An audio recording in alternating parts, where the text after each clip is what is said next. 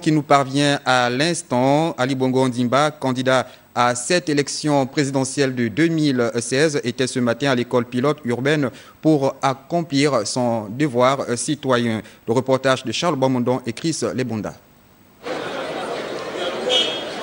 C'est aux environs de 11h45 qu'Ali Bongo Ndimba est arrivé à l'école pilote urbaine du centre, accompagné de la première dame, l'homme suffisamment requinqué et confiant au terme d'une campagne électorale qui aura duré une dizaine de jours et qui lui a permis d'expliquer à ses compatriotes son projet de société.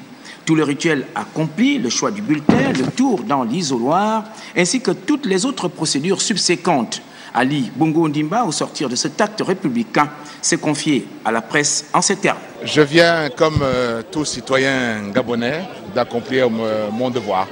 Et je me sens comme un citoyen normal qui vient d'accomplir son devoir. Je suis serein, bien sûr. La confiance? J'ai passé une bonne nuit.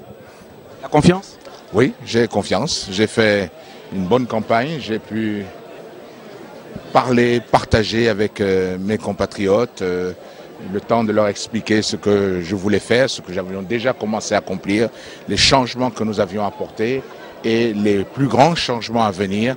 Donc pour cela, euh, je suis confiant. Reste et demeure le temps que prendra la publication des résultats. Dans tous les cas, l'opinion nationale et internationale est suspendue au verdict des urnes.